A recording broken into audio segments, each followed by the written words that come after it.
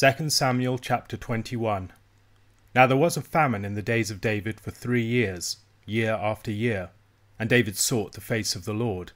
And the Lord said, There is blood guilt on Saul and on his house, because he put the Gibeonites to death. So the king called the Gibeonites and spoke to them. Now the Gibeonites were not of the people of Israel, but of the remnant of the Amorites. Although the people of Israel had sworn to spare them, Saul had sought to strike them down in his zeal for the people of Israel and Judah. And David said to the Gibeonites, What shall I do for you, and how shall I make atonement, that you may bless the heritage of the Lord? The Gibeonites said to him, It is not a matter of silver or gold between us and Saul or his house, neither is it for us to put any man to death in Israel. And he said, What do you say that I shall do for you? They said to the king, The man who consumed us and planned to destroy us, so that we should have no place in all the territory of Israel, let seven of his sons be given to us, so that we may hang them before the Lord at Gibeah of Saul, the chosen of the Lord. And the king said, I will give them. But the king spared Mephibosheth, the son of Saul's son Jonathan, because of the oath of the Lord that was between them, between David and Jonathan the son of Saul.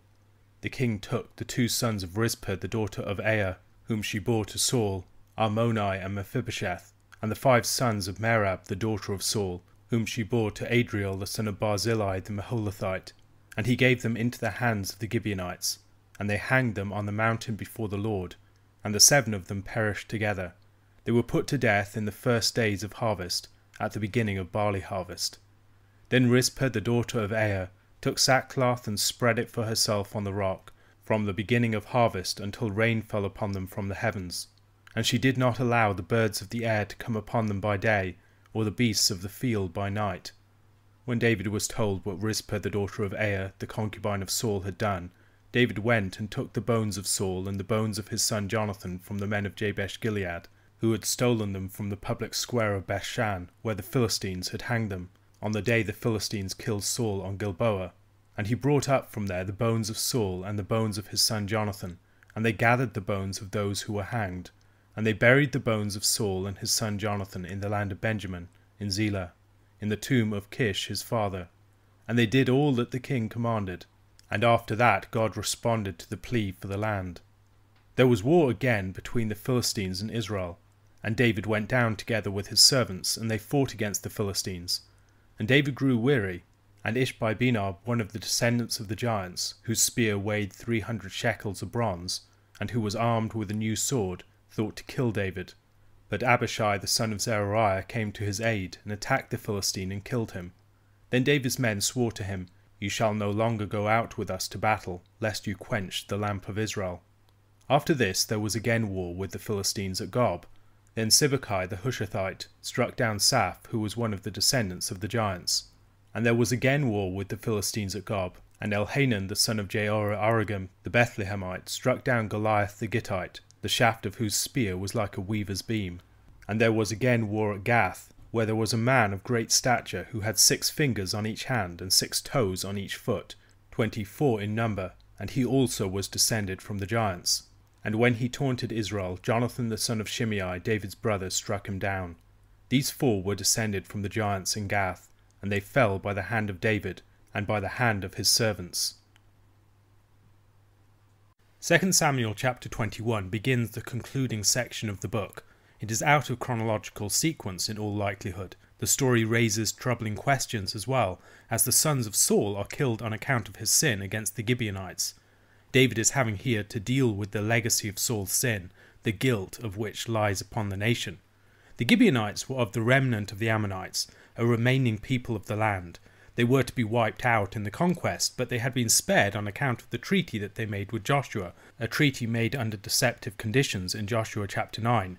In verses 3 to 6 of that chapter, we read But when the inhabitants of Gibeon heard what Joshua had done to Jericho and to Ai, they on their part acted with cunning, and went and made ready provisions, and took worn out sacks for their donkeys, and wineskins, worn out and torn and mended, with worn out patched sandals on their feet, and worn out clothes and all their provisions were dry and crumbly. And they went to Joshua in the camp at Gilgal, and said to him and to the men of Israel, We have come from a distant country, so now make a covenant with us. They successfully persuaded Joshua and the Israelites that they were from a far country.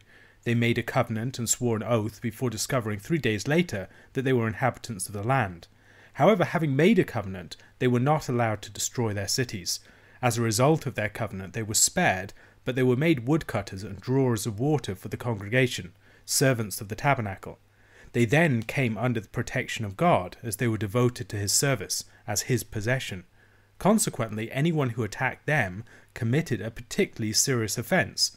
They were attacking the people that had been claimed by the Lord. There is no biblical account of Saul's attack upon the Gibeonites. However, the war between David and Ishbosheth began at Gibeon. Gibeon in Joshua chapter 10 verse 2 was described as being a great city, like one of the royal cities. We learn in 1 Chronicles chapter 21 verse 29 that the tabernacle, minus the Ark of the Covenant, was based at Gibeon. The Gibeonites were the servants of the Lord's house, so it was not surprising that the tabernacle would end up being based in their city. Gibeon was also in the territory of Benjamin, so one can readily imagine that there were tensions between the Benjaminites, who felt that the Gibeonites' cities were theirs by right, and the Gibeonites who had been spared to live in them. In chapter 4, verses 2 to 3, we discover that the Beerothites, men of the city of Beeroth, also in Benjamin's wider territory, had fled. Beeroth was another city of the Gibeonites, so it seems likely that during Saul's reign there had been some attempt to drive the Gibeonites out, even though they were under the Lord's special protection. It is not unlikely that Saul wanted Gibeon to be his royal city, the site of his throne and of the tabernacle. That the conflict between David as the king of Judah and Ishbosheth as the king of Israel began at Gibeon was possibly a sign that this was a more determined purpose on the part of the Saulite dynasty. The judgment is not just against Saul as well, it's also against his house.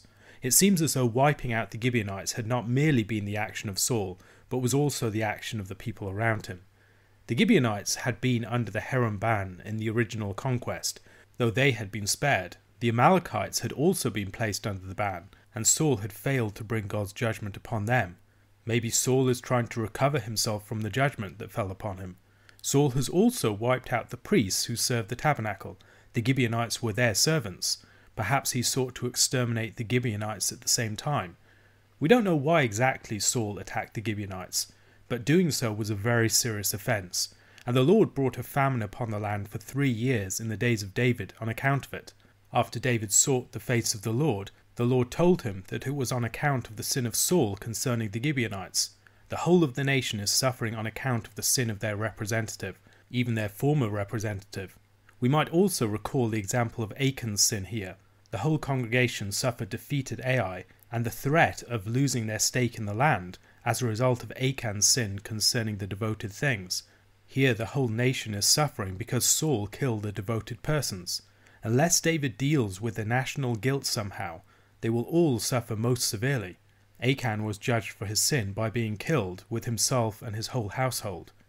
It is difficult to understand why Saul's sons would be put to death for his sin without considering the way that the ban works.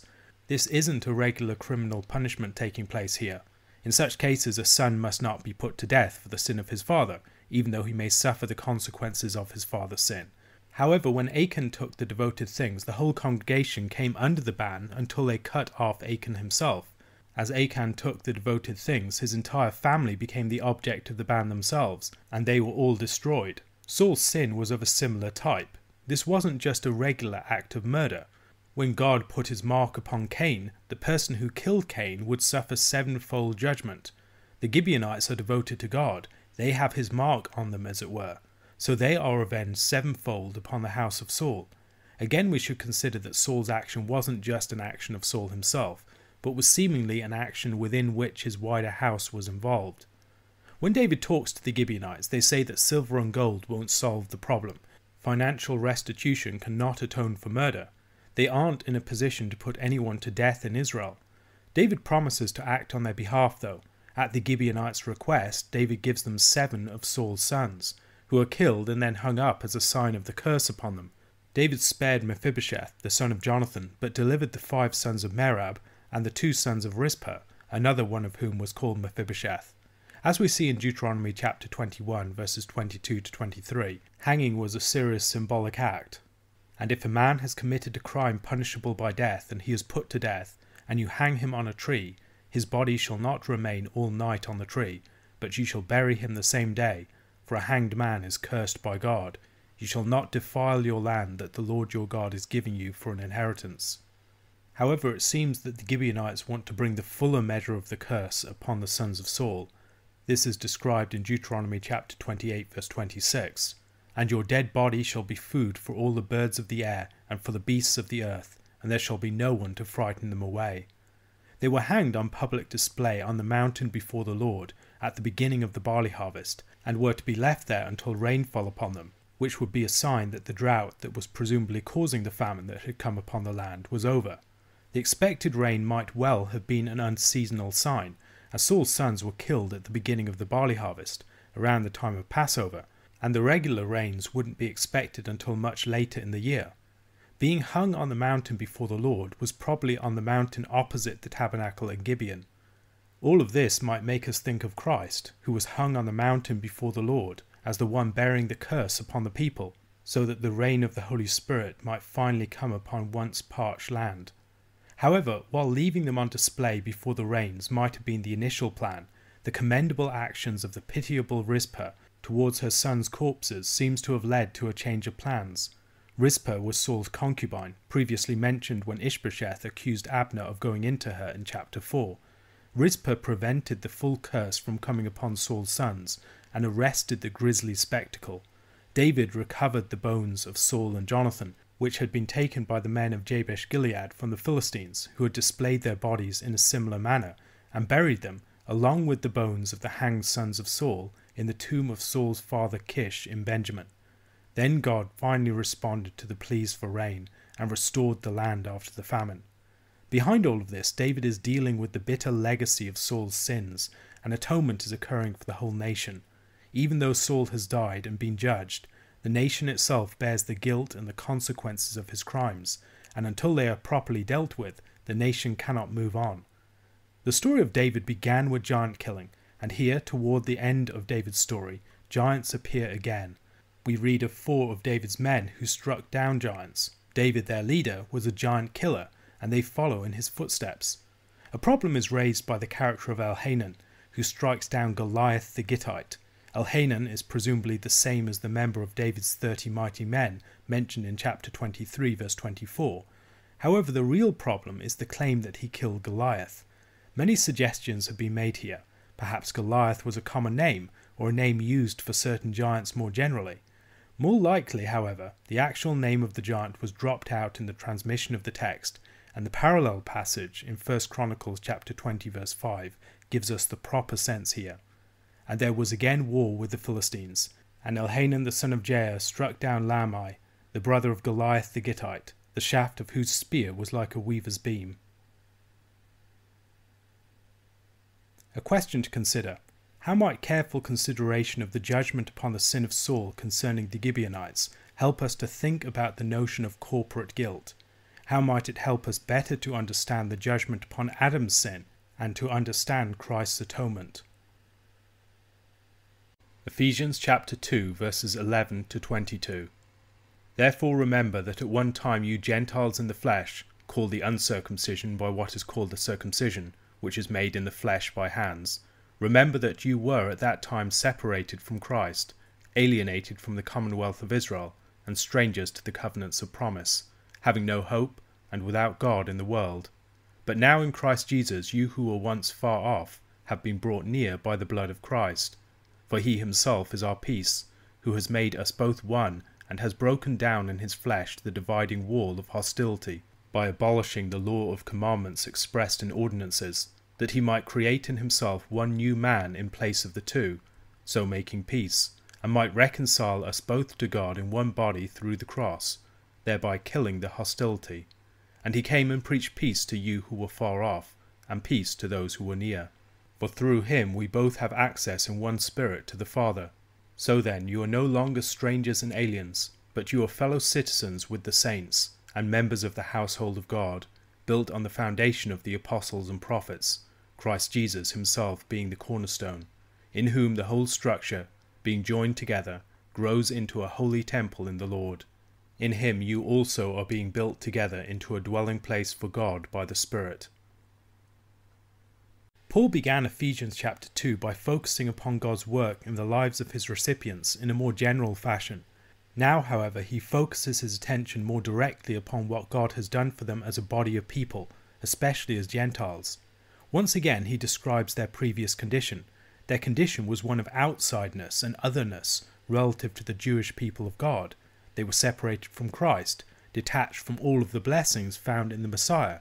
They were alienated from the commonwealth of Israel, cut off from the many benefits enjoyed by Israel as the people of God. They were strangers to the covenants of promise, foreigners to the promises and to the bond that united God to his people and assured them of future blessings.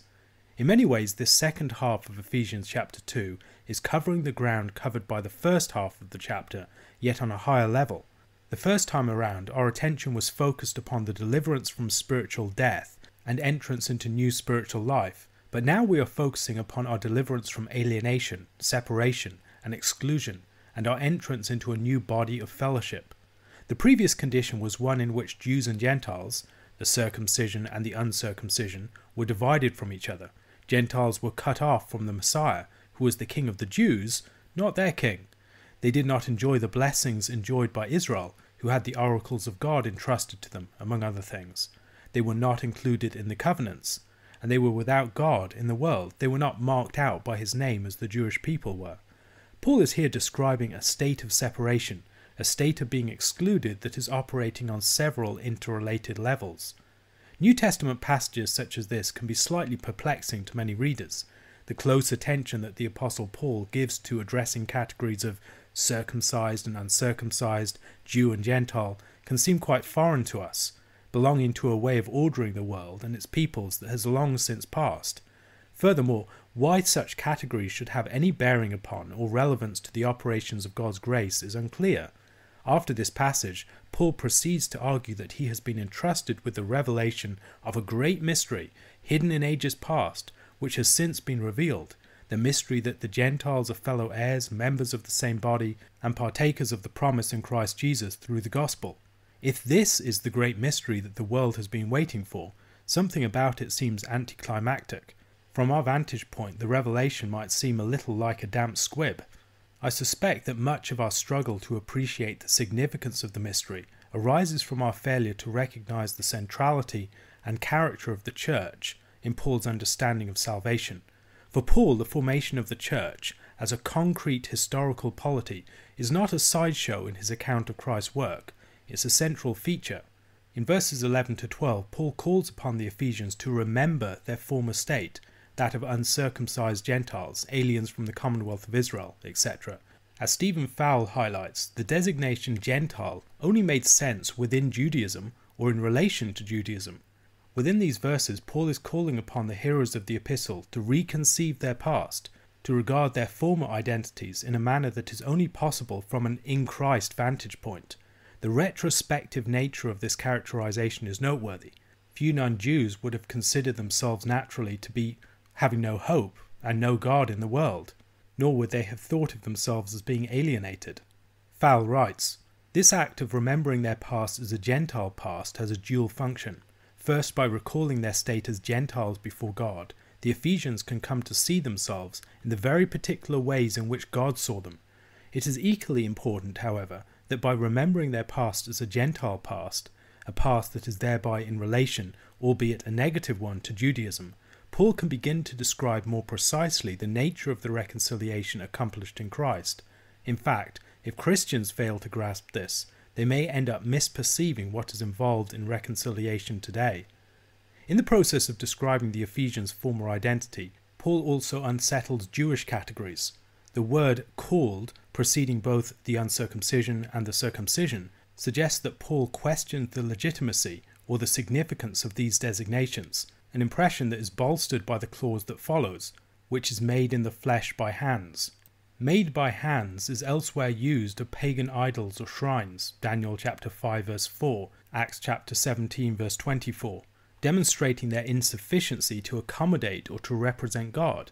In the New Testament it is also used in reference to the Jerusalem temple, where it draws attention to the transitory character of the edifice. Likewise, the term flesh in Paul is typically contrasted with the Spirit and its efficacy in the New Covenant. In suggesting his contestation of these Jewish categories, Paul is probably subtly directing the attention of his hearers to a more fundamental circumcision of the heart by the Spirit promised in the New Covenant. Paul declares that the Gentiles who were once alienated are brought near through the blood of Christ in verse 13. Some hearing Paul's argument to this point might be wrong footed by the expectation that the Gentiles will have been brought near by being made members of Israel. They are brought near, however, not by being made members of Israel, but by becoming members of an entirely new polity, the Church. Once again, that which affects our deliverance is the work of Christ. Here, interestingly, though, it is the death of Christ that is more foregrounded, whereas in the earlier section it was the resurrection that was the focus. Paul's point here about what Christ accomplished in his cross is similar to that which he made in Colossians chapter 2 verses 13 to 14. And you who were dead in your trespasses and the uncircumcision of your flesh, God made alive together with him, having forgiven us all our trespasses, by cancelling the record of debt that stood against us with its legal demands. This he set aside, nailing it to the cross. Christ brings about peace, breaking down division, he deals with the law that locks the Jews up and locks the Gentiles out. Christ doesn't just bring peace, though. As Paul puts it here, he himself is our peace. Christ himself holds together in his body God and man, and man and man. Those formerly divided are now united in the single body of the Messiah. Some have seen here a reference to the dividing wall between the outer and the inner area of the temple, the latter being restricted to Jews only. This is likely somewhere in the background, especially as he goes on to talk about a new temple being formed, but Paul's point is more general. This has all occurred in Christ's flesh, and it has occurred through the way that Christ deals with the law. The law stood against both Jews and Gentiles in different ways. It locked the Jews up under its condemnation, while it locked the Gentiles out. The law is abolished as the law of commandments expressed in ordinances. In Colossians chapter 2 verse 14, a similar expression refers especially to the law as a set of ascetic regulations. It might be most appropriate to see this as an abolishing of the law as a system of flesh regulation. The law is of course fulfilled, as Paul makes plain in Romans chapter 8 and elsewhere, but its fulfillment is a transformation. It is no longer the caterpillar of commandments expressed in ordinances, but the butterfly of life in the Spirit. The obstacle of the law can be dealt with, of course, because the flesh and the condemnation that lies over it have been dealt with. The consequence is the peace of which he is speaking peace between Jews and Gentiles and among men, and peace with God. Enmity has been removed. Christ's message of peace, the message of the gospel, has been declared to those who were far off, Gentiles, and to those who were near, Jews, and it has been declared to both alike. It is interesting to observe the way that Paul speaks of Christ himself giving this message. Christ is so involved with and active with and identified with his messengers that when his messengers speak to us, it is as if he himself was speaking directly to us. The peace that we enjoy is one by which we both alike have access through Christ in the one Spirit to the Father. Once again, the underlying Trinitarian grammar of Paul's Gospel can be seen here. We are already here getting an intimation of the argument that he will make in chapter 4 too, where the unity of the Church is closely connected to the oneness of God. The death of Christ overcomes not only the condemnation that Israel lies under, but also the division within the human race. In Christ, the quarantining of Israel from the nations has ended, and one new undivided humanity can be formed of the two. The reconciliation of the divided humanity is accomplished as both Jews and Gentiles are reconciled to God, enjoying access in one spirit to the Father the human race is united as it draws near to God. Paul describes our state following the work of Christ in verses 19 to 22 no longer strangers and aliens, but full members of the household of God, with all of God's other holy people. Paul infuses his architectural imagery with organic imagery. We are a structure that is joined together, which is growing into a holy temple for God's dwelling place verses 21 to 22 are parallel to chapter 4, verses 15 to 16, where Paul writes, Rather, speaking the truth in love, we are to grow up in every way into Him who is the head, into Christ, from whom the whole body, joined and held together by every joint with which it is equipped, when each part is working properly, makes the body grow so that it builds itself up in love. Here the accent is upon the organic rather than the architectural imagery, but the parallel is illuminating. The notion of a living and growing temple body is not exclusive to Paul, but can be found in other New Testament passages, such as John chapter 2 verses 19 to 21 and 1 Peter chapter 2 verse 5. It's also implicit in the imagery of Acts chapter 2 and the day of Pentecost. This temple, this building in which Jew and Gentile are brought together in fellowship with God, is built up in conformity to Christ through acts of communication, speaking the truth in love, and acts of loving mutual service. It is this international body of persons that is the temple within which God now dwells. This claim is absolutely integral to Paul's understanding of the Christian message. Essential to the progress of the building project is the establishment of loving communication and service between Jews and Gentiles. Even with the wall of division between them removed, the edifice of the new temple would risk being riven in twain by a huge crack were such bonds between Jews and Gentiles not formed and maintained. This, of course, is one of the reasons why Paul expresses such passionate concern about the situation in Antioch that he recounts in Galatians chapter 2, where Jews were withdrawing from fellowship with Gentiles. The eschatological temple is a feat of international relations springing up out of the overflowing grace of the gospel. As contemporary Christians reading these passages, we can fumble for conceptual rationales for the intensity of Paul's concern to hold Jews and Gentiles together. The principles that most readily present themselves to the consciousness of readers informed by the tradition of Western liberalism are typically those of inclusivity, equality, and non discrimination. Yet these principles have seldom fueled quite such an intense impulse towards the concrete outworking of unity between people groups as Paul displays in these epistles. They can commonly focus our attention primarily upon individuals rather than concrete historical communities of people. In focusing upon such categories, we risk missing the character of Paul's concerns and his understanding. Paul's point has less to do with an abstract principle of the equality of individuals, and much more to do with the overcoming of divisions between peoples within the arena of history. The oneness, he declares, is not primarily a rejection of the significance of the differences between Jews and Gentiles, but his insistence that difference no longer presents a division or obstacle, it has been traversed by the grace of Christ's gospel. Likewise, the unity he proclaims does not straightforwardly underwrite liberal values of inclusivity and non discrimination. The inclusion and non discrimination that Paul proclaims is not founded upon absolute moral principle, but upon a historical achievement. It is a unity that has been brought forth from a prior situation of divinely established exclusion and discrimination. God had elected Israel, and the Gentiles were excluded from that. The mystery is that God's purpose was that this discrimination and exclusion should one day serve the blessing of all. The difference between Jews and Gentiles established by the Torah is of great importance to Paul, although he presents this difference in terms of its penultimacy to the new covenant order of the church. The significance given to the difference between those who were aliens and strangers, and those who were citizens and members of the household, between those who were near and those who were afar off, is a reminder that the Church is a polity forged through God's decisive action with distinct peoples in history. Differences are not necessarily expunged in this new order. Love and grace are particularizing, they address us all in our uniqueness. But the divisions they once established are traversed by the working of God's grace. As the new organic human temple is built up, it is a light to the world, a pattern of how things really ought to be, a foretaste of the future where the nations give up the ways of war and join together as one to feast at God's table. A question to consider What might it mean that the church is built upon the foundation of the apostles and prophets?